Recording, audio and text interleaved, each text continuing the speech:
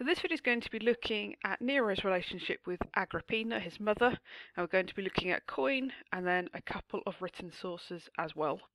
So if we're looking at this coin here, so we've got uh, J21B, you can obviously see that we have Nero and Agrippina both on the coin.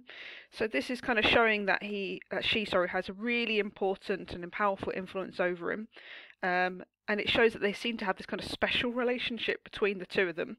Now, other women from the family, like Livia, etc., had been put on coins before, but it's never been done um, to this sort of this prominence uh, compared to Agrippina. So this kind of shows her importance in the reign, the initial reign, sorry, of uh, Nero uh, when he comes to power. It also gives you a couple of bits of evidence about um, his power. So we know he's tribune, for example talks about him being the son of the divine Claudius. Remember, Claudius had been um, deified on death, and he is the adopted son of Claudius. Obviously, Claudius had adopted him over um, Britannicus. So that's kind of like the initial impression we get about this relationship that they're almost like co rulers, that they are working together. Then we have a longish, it's not that long compared to some Tacitus sources we're going to have a look at, but it's longish uh, section of Tacitus that talks through um, their relationship and how it essentially sours and uh, the varying plots that go against Agrippina.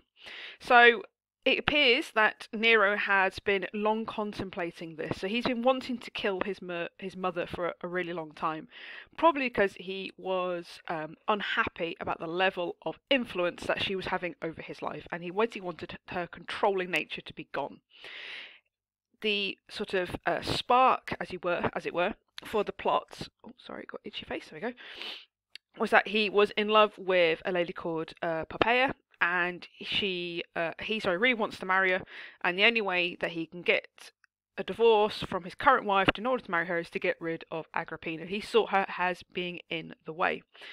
And Tacitus kind of widens this, say, you know, all men yearned for the breaking of the mother's power. None credited the hatred of the son will go all the full way to murder. So everybody kind of knew that he wanted to break away from Agrippina, but nobody really thought he would necessarily go through to actually, you know, killing her. So there's quite a few different um, plots that we have a look at, and another reason why um, Nero appears to want to kill her, according to uh, Tacitus, is the fact that Agrippina wanted to commit incest with him. Now, um, another source that Tacitus pulls on, which is uh, this guy called Fabius Rusticus, no idea who he is, says actually it was Nero who wanted to um, have incest. But he says generally most people agree with this guy here, uh, Cluvius, that this was part of the reason why he wanted to get rid of her.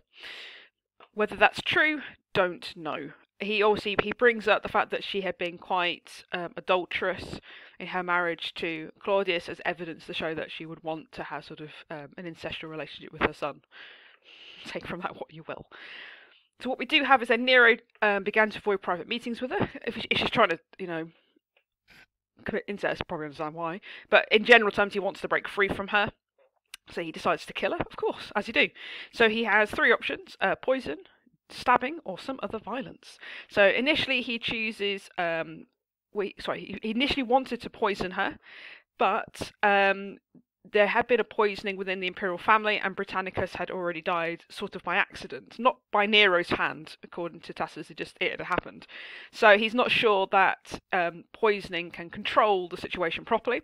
So he decides um, kind of not to do that. Plus, Tacitus, um, Agrippina had been fortifying the system again by taking antidotes anyway. So poison wasn't going to work. So he decides um, sorry, if he did stabbing, there's no way of kind of like concealing the plot because somebody might um, go against their orders, I might sort of inf- inform on them, and that's why it's also very, very difficult to control. So poisoning seems to be out, the stabbing her seems to be out. So then um, a freedman of Nero, this guy here, decides to do this kind of slightly long-winded plot, which is quite amusing. So they says, well, well, we can make a boat and we could basically sabotage the boat, design it with the sabotage in. So when it's out to sea, it can sink, and then um, basically Agrippina would drown. So that is the decision they make: is to make this weird boat. And this is what the next section of Tacitus is going to talk about. So he decides to lure his mother, showing that you know they'd fallen out because he's refusing to talk to her. So he shows a forgiving spirit, aim to re- create a room of reconciliation with Agrippina, and that she'd probably accept it because she wants to be seen as you know being forgiving as well. So she accepts the invitation to this island, um, this Baiae. So she goes to the beach and they have a hug and it's lovely. And then he says, "Right, we're going to go for dinner," and um, and this is all to help sort of conceal the crime. So it's kind of lull her into a false sense of security. Now it appears that Agrippina had been kind of warned of a plot and was a little bit unsure whether or not to believe the informer. However, because Nero had gone to the beach to greet her, that he had escorted her, they had this lovely dinner, that she kind of her, her fears are, are, are waylaid. So she seems to be relatively happy about this particular situation, which is what this bit the source talks about. So it's a really calm night. I'm sure you're fascinated to know that particular detail from Tacitus. And because there's no wind, the ship is taking a really long time to sail back and then some sort of signals given, and the canopy, so that'd be like where the sail is, which has been heavily weighted with lead, so it's like designed to fall, um, falls and it crushes um, one of the freedmen, so one of the household members of Agrippina, and he is killed instantly. Agrippina and another freedman here are saved by sort of being able to like they weren't in the right place and basically they were protected by the sides and the boat did not break up as it was supposed to. So Agrippina does get wet, but she doesn't drown or get crushed. So, oh dear. So then the freedman um, raises the cry and demands aid for them for the emperor's mother, and everybody comes to help them. And basically, Agrippina just has a few kind of like knocks and some bruises and a couple of cuts, but otherwise she's absolutely fine. And she goes back to her to Villa. And here she sort of realizes that clearly the, the letter was, as she was warned, a plot, and um, she doesn't really know what to do. And she's kind of like, right, I'm going to sit home quietly and just kind of heal my wounds before I decide on my next steps understandably. So she sends um, another freedman Agamus to carry word to son, thanks for divine kindness, fortunate star, she had survived a great incident. So she kind of then sends this letter like, oh my goodness me, you'll never believe, you know, the ship collapsed on me, but I'm okay, it's all fine. Um, she's obviously aware that Nero's probably ordered her death, but she's kind of playing him um, a little bit. So then Nero gets this message that she'd escaped with a wound from a light blow, so she's been knocked over a little bit, and he's terrified because he thinks that she's going to appear and want vengeance to have him killed off instead or do something else. So um, he calls his key teachers, which I should have highlighted and hadn't. So he sends in these two men. It's going to be in a different colour. I'll do it in grey. There we go. So Seneca is one of his tutors, and so is this guy, and they have been helping kind of to run his household and kept some kind of vague control of him. So he summons them and basically he kind of tells them this story about um, how Agrippina is going to kill him and she's got sort of designs on the throne and he wants she wants to be in charge and he kind of sells them a little bit of a, of a story. So Seneca and um, and Burrus decide that if they're going to kill Agrippina to get rid of this threat, they could use the military to do so. However, um, let me just read it. They, they says that the army would be would would flinch from this because they were kind of uh, attached to Germanicus, who had been like Britannicus's father and all that sort of stuff.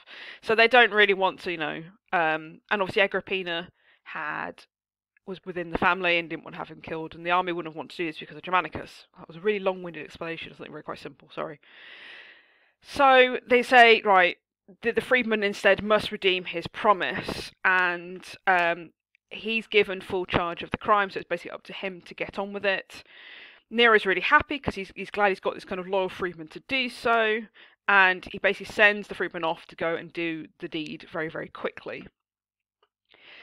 In the meantime, this is like a bit of a saga. Sorry, Agrippina, um, what had happened to her, especially and it was seen as an accident by most people, had become really well known, and everybody was kind of like celebrating that she was was safe and happy and healthy, and everything is fine. Um, and um, they're all set, sorry, they're all really, really happy. Cool. She's stuck in her villa, kind of going, getting really worried because um, basically nobody from her son or one of his roommates had appeared. So she's obviously becoming really aware that probably her son is behind this particular plot, um, and her her life is in danger. So um, eventually, the freedman who'd been sent to uh, do the deed. in fact, I didn't. Why I didn't highlight it there. Um, there's also um, a member of the military. I will highlight all that in grey. He, she, he, they turn up, and that's when she kind of realizes what's going on. And the executioner's around the couch where she sat, and they strike her on the head with a club, and then they basically just stab her to death, and it's all very unpleasant. Agrippina is now dead. So Nero then goes and inspects the course and is really pleased that she's dead. Fine. She's then cremated, but not given the full rights of being deified, etc. At that particular point, it happens later, which is what's going on in here. Oh, there we go. Um, so he then tells this sells this story still that Agrippina had been trying to seize the throne and been trying to be sorry um, a co-ruler. So by telling this story to like the Senate and to um, the army, he gets sort of adulation of centurions and tribunes. Um, they wished him joy of escaping the unexpected danger and criminal enterprise of his mother. So the story works, and um, he's not blamed for what happened. You know, the wool is pulled over everybody's eyes, and she is seen as the danger, and therefore her death is then justified. Um, so he sends a letter to the, the Senate um, and sort of the summary, according to, to Tacitus, is that the assassin with this weapon upon him had been discovered in this place. One of the confidential freedmen of Agrippina and his mistress, conscious of guilt, had taken the penalty of me- meditated murder. So it was to a Freedman and uh, nothing to do with him, and thank God she's dead. And then um, there's more justifications about um, this particular event. So she'd hoped for a partnership in the empire, for the Senate and people to submit like sort of like um, like slaves. Her foil um, ambition foil she'd turned against the soldiers, and she'd worked for the ruin of eminent citizens, and that's why um, she was executed, basically. That is what they're being told.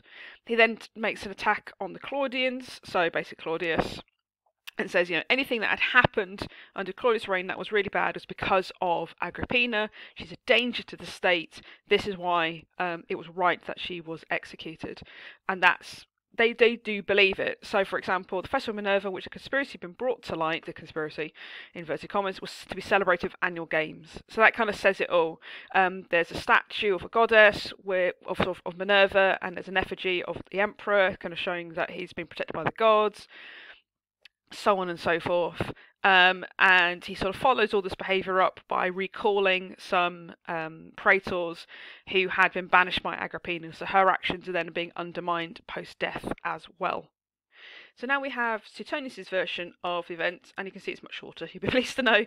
So he's a bit more succinct. So we have again the motives behind it. So Overwatch will overcritical eye Agrippina kept on whatever Nero did or said proved more than he can stand. So he was just fed up of being controlled by his mother, which is kind of understandable, I guess.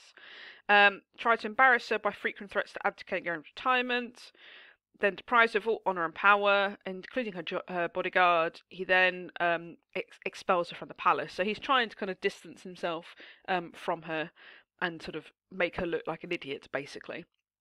So in the end, her threats and violent behaviour terrified him, deciding she must die.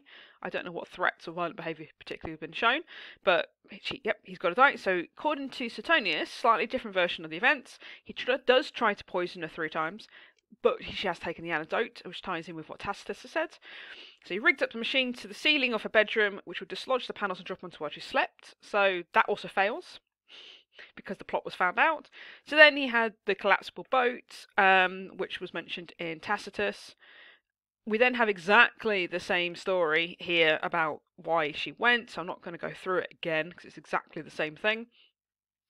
Nero, in desperation, ordered one of his men to drop a dagger surreptitiously oh, I can't say that word, sorry, surreptitiously, got there eventually, besides um, Argenius, who he arrested at once on charge of being charged uh, having been hired to murder the emperor. So this gives you a little bit more detail on why um, his story about Agrippina was believed. So he plants some evidence on one of the freed one of her freedmen and that shows that she was trying to kill him. So then people obviously would then believe the story of why she was then executed. So um, obviously then everybody's really happy that Agrippina is killed, and um, everyone's happy. So the army, the Senate, the people are all celebrating. Fine. She's, he's now free of her influence, and as a result, he then decides to murder his aunt. um, and it's a delightful story about her being in bed because of constipation, which is lovely. And then she's given a really strong laxative, and then um, she she dies. Okay, cool. So we start to see again um, a shift in this behaviour of now the control mechanism of Agrippina is gone. Nero is going to be able to do the kind of things that Nero actually wants to do without being criticised.